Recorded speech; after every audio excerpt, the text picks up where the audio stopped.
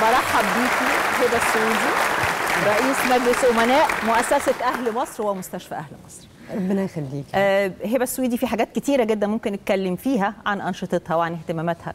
آه، إنما إحنا النهارده بنتكلم بالتحديد عن مستشفى أهل مصر بعد حادثة كبيرة جدا زي حادثة القطر. طبعا. أنا عايزه أختك الأول كده إحنا أهل مصر بدأت الأول بإيه؟ حادثة يعني اللي دخل أهل مصر أصلا خلانا ندخل في مجال الحروق.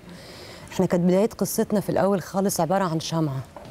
شمعة ولعت آه، في أسبوع بنت ولعت السرير آه، في الأسبوع البنت كلها ولعت للأسف. فدي كانت البداية في الأول خالص. ابتدينا ندور وقتها آه، حد كلمني ابتدي أدور على سرير عشان نقدر ندخل الطفله فيه. للأسف على ما لقينا مكان فاضي كانت البنت توفت. طبعا أنا عارفة حادثة محطة مصر كانت قاسية جدا على المصريين. والناس أول مرة يشوفوا ناس بتولع قدامهم وحالات بتولع وكانت طبعا بس أنا عايزه أقول لك ان الحادثة حصلت إحنا مجرد بعد الحادثة دي ال- ال- الخميس جمعة سبت جالنا 11 حالة مالهمش دعوة بالحادثة دي خالص. ومن ساعة الحادثة لغاية النهارده اتحول على أهل مصر 40 حالة حرق. فالحادثة بالنسبة لنا يمكن الناس أول مرة تشوفها في التلفزيون وتبقى قاسية قدامهم بس ده اللي إحنا بنشوفه كل يوم في المؤسسة. حالات الحروق آه، متعددة الأسباب من أول الزيت المغلي الشوربة المغلية اللي بتموت الأطفال وبالذات لما طفل صغير بيجيله آه، الأنبوبة البوتاجاز ماسك كهرباء يعني أسباب متعددة طبعا مية النار اللي بتترمي بسبب العنف. فالحالات دي بتجيلنا كل يوم بنشوفها كل يوم. آه، مصر في أماكن يعني جوه المستشفيات سراير يعني سراير للعلاج الحروق بس ما فيش مكان متخصص لعلاج الحروق في مصر. لغاية دلوقتي. وعدد سراير العناية المركزة المتوفرة بالنسبة لهم مش كفاية لأنه مريض الحرق بيبقى محتاج إن هو يقعد جوه سرير العناية المركزة من شهر لثلاث شهور. فبي فبالتالي آه، ومكلف جدا. في العناية مش في في العناية. عادي. لا لا في العناية. وأوقات بيضطروا يقعدوا بالشهر والشهرين في غرفة عزل تماما. ما يقدروش يشوفوا فيها حد خالص غير الدكتور والتمريض.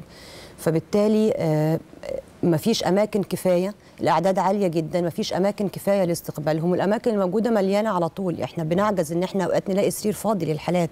وده اللي خلانا فعلا نتوجه إن إحنا نعمل آه، مستشفى متخصص في الحوادث والحروق عشان نقدر نكبر نخد- نخدم أكبر عدد ممكن من الحالات دي عشان ننقذ حياتهم من الموت أصلا. لأنه للأسف أنت عندك حالات بتموت أول ست ساعات. بسبب إن هم ممكن ما يلاقوش مكان آه، متوفر إن هم يدخلوا فيه. فنسبة الوفيات فيهم بتبقى عالية واللي بيحزنني أنا شخصيا إنه هو أوقات ما بيموتش بسبب الحرق أوقات بيموت بسبب إنه ممكن يجيله عدوى لأنه بيبقى محروق فجسمه كله معرض لأي عدوى.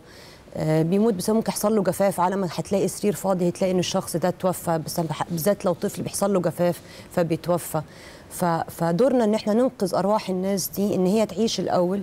وبعد كده بقى بنكمل معاهم المشوار آه، آه، آه، قادرة أفهم السيدة هبة السويد اللي بتتكلم عن الإنقاذ الجسدي والإنقاذ المعنوي يعني أي طفله طبعاً. أو طفل أو فتاة إنقاذ الروح آه إنه إنه حتى لو يعني إنه حتى لو صح من الحريق أو أو أو خف منه إنما آثار تشوه الحريق ممكن طبعاً. تأذيه نفسيا طول العمر ففي النهاية برضه مستشفى متخصص بالظبط بيتعامل مع بالظبط. الجزئية دي